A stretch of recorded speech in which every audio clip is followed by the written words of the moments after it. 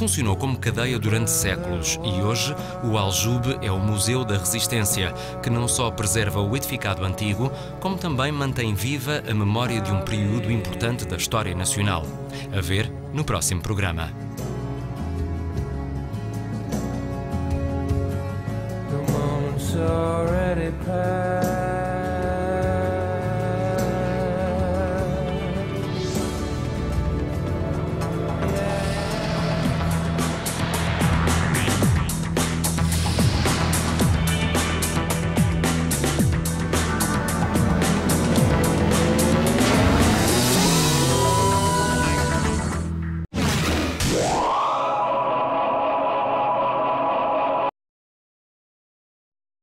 Este programa tem o apoio de Troia Resort.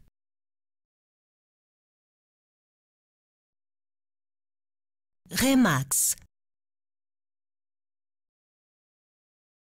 Resul Solar. Soluções para redes de energia convencionais e renováveis. Este programa é patrocinado pela gama de eletrodomésticos da Whirlpool.